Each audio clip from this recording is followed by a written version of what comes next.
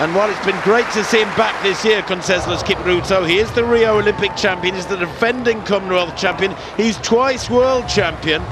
And this wonderful return from him is good to, good, so good to see. But he's run 8-8 this year, and Kibiwott here is pushing on and maybe taking it into territory that uh, Kipruto just cannot live with.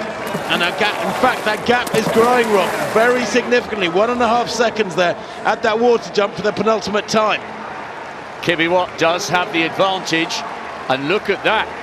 Conseslus Kipruto has been dropped. Sable has moved up into the silver medal position. This will be generating incredible excitement back in India. He's having the race of his life.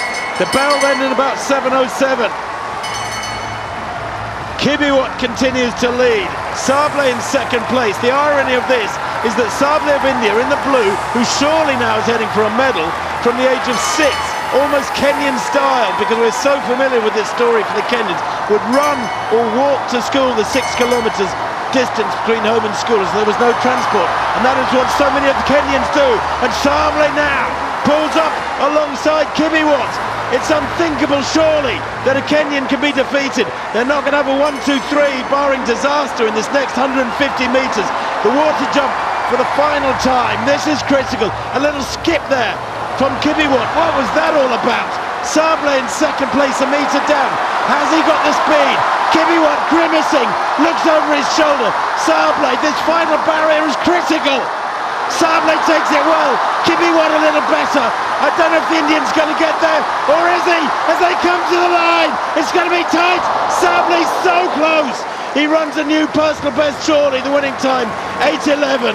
A superb silver for the Indian, but gold again for Kibiwott of Kenya. Abraham Kibiwott, second in the last Commonwealth Games, goes the one place better that was available to him. Coming through for fifth place is Gay of Canada. What a good run from him. In fact, fourth, I think, for Gay there, as Conseslus Kipruto hits the blocker, blockers over the final lap and uh, almost walks across the line. Brilliant running from Abraham Kibiwott, but surely the story of that race is the fabulous effort from Avinash Mukund Sable of India, a personal best, a national record, of course, 8 11 20. The landscape of steeplechasing is changing. Well, by almost a